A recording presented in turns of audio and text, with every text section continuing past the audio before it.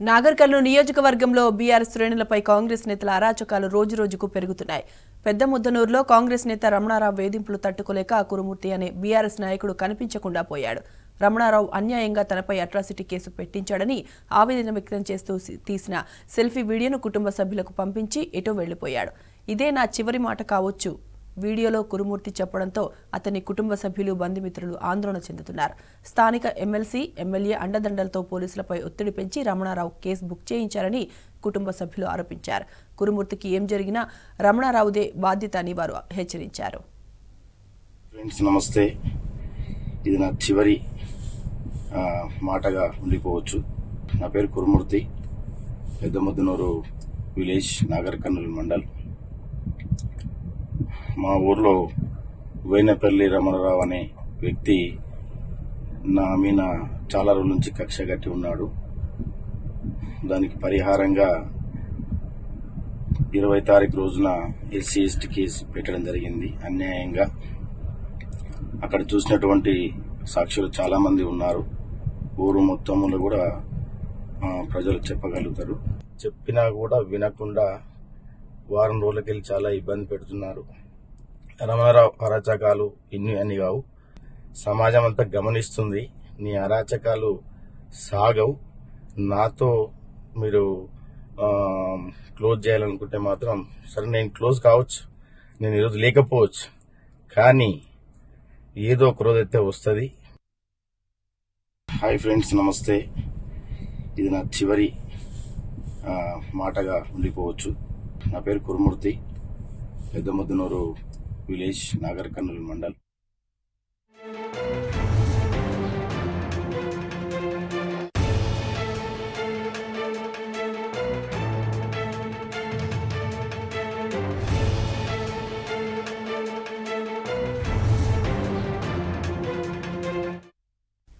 ఇదే అంశానికి సంబంధించిన పూర్తి డీటెయిల్స్ మా ప్రతినిధి శేఖరాచారి అందిస్తారు. చారి చెప్పండి కురుమూర్తి అదృశ్యంపై పోలీసులు ఏమంటున్నారు అప్డేట్స్ ఏంటి జారీ సాయి మాధవి నాగర్ కర్నూలు నియోజకవర్గంలో ఈ మధ్య కాలంలో అంటే కాంగ్రెస్ నేతలు ఉన్నటువంటి ప్రజాప్రతినిధులు అండదండలతో అధికార అంతా ఉపయోగిస్తూ పోలీసుల పైన ఒత్తిడి తీసుకొస్తూ బీఆర్ఎస్ నేతల పైన కేసులు నమోదు చేయిస్తా ఉన్నారు జైళ్ళకు పంపిస్తా ఉన్నారు. ఇది పరిపాటిగా మారింది నాగర్కర్నూలు నియోజకవర్గంలో. తాజాగా పెద్దముద్దునూరు మండల నాగర్కర్నూలు మండలం పెద్దముద్దునూరుకు చెందినటువంటి కురుమూర్తి బీఆర్ఎస్ కార్యకర్త. ఇతను ఇతని పై అక్రమంగా ఆ గ్రామానికి సంబంధించినటువంటి కాంగ్రెస్ నేత వేణుపల్లి రమణారావు అని చెప్పేసి ఆయన అక్రమంగా కేసులు చేయించి అంటే పైన ప్రెషర్ ఒత్తిడి తీసుకొచ్చి అధిష్టానంతో పోలీసులతోని అట్రాసిటీ కేసు నమోదు చేయించాడని చెప్పేసి అసలు పూర్తి విషయం తెలుసుకుంటే ఆ గ్రామంలో ఈయన ఒక ఒక ఈయన సంబంధించిన ప్లాట్లో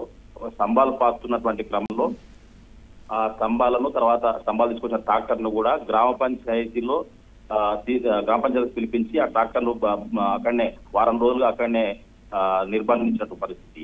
మాట్లాడాలని చెప్పేసి పిలిపించి డబ్బులు కూడా డిమాండ్ చేశారని చెప్పేసి అంటే గ్రామ పంచాయతీలో ఇప్పుడు సర్పంచ్కు అంటే మాజీ సర్పంచ్ అయినా సర్పంచ్కి సంబంధం ఉండదు. కానీ ఈ రమణారావు ఎవరైతే ఉన్నారో ఈయన తర్వాత మాజీ సర్పంచ్ ఆ, అతను మరికొంతమంది కలిసి ఉద్దేశపూర్వకంగా బీఆర్ఎస్ కార్యకర్తలను నాయకులను టార్గెట్ చేస్తూ వాళ్ళు చేసుకునేటువంటి పనులకు ఆటంకం కలిగించాలి. ఏదైనా నిజంగా కూడా ఇల్లీగల్గా వీళ్ళు ఏదైనా చేస్తే సంబంధిత డిపార్ట్మెంట్ ఎలక్షన్ డిపార్ట్మెంట్ ఉంది. ఆ డిపార్ట్మెంట్లో వాళ్ళు వచ్చేసి వాళ్ళు హ్యాండ్ ఓవర్ చేసుకోవాలి. లేదంటే ఇల్లీగల్ ఏదైనా చేస్తే వాళ్ళు చూసుకోవాలి. కానీ మాజీ సర్పంచ్లు మాజీ ఎంపీటీసీలు తర్వాత సంబంధం లేనటువంటి కాంగ్రెస్ నేతలు వీళ్ళ పైన ఒత్తిడి తీసుకొచ్చి గ్రామ పంచాయతీకి పిలిపించి సెటిల్మెంట్ చేయడం తర్వాత మొత్తం డబ్బులు కావాలి డిమాండ్ చేయడం ఇది ఒక అంటే ఈ చూస్తుంటే కావాలని చేస్తున్నట్టు ఉద్దేశపూర్వకంగా చేస్తున్నట్టుగా మనకు ఆ కురుమూర్తి ఏదైతే సెల్ఫీ వీడియో అయితే తీసి పంపించాడో దాన్ని చూసి తెలుస్తుంది. ఇది పూర్తిగా ఆ, మొత్తం అన్ని గ్రూపులలో కూడా సోషల్ మీడియాలో వైరల్ అవుతా ఉంది. నాకు ఈ కేవలం ఈ రమణారావు ఆయనకు సంబంధించినటువంటి వాళ్ళ కాంగ్రెస్ వాళ్ళ ఒత్తిడి వల్లనే నేను ఆ, నేను అంటే ఇది నా చివరి మాట కావచ్చు నేను ఉండకపోవచ్చు కానీ వాళ్ళ అరాచకాలు ఎన్నో రోజులు సాగవు. ఇది అందరికీ తెలిసిన విషయమే. కాబట్టి నన్ను కావాలని ఉద్దేశపూర్వకంగా ఇరవయో తారీఖు రోజు స్టేషన్కు పిలిపించి అట్రాసిటీ కేసు అంటే కారోబార్తో అని చెప్పేసి ఆ, వాళ్ళ పరపతిని ఉపయోగించి నా మీద కేసులు నమోదు చేయించారని చెప్పేసి నాకు ఇది అవమానంగా ఆ, అవమానం జరిగిందని చెప్పేసి ఇలాంటివి చాలా గతంలో కూడా చేశారని శేఖరాచారి కురుమూర్తి అదృశ్యంపై వారి కుటుంబ సభ్యులు ఏమంటున్నారు మరి?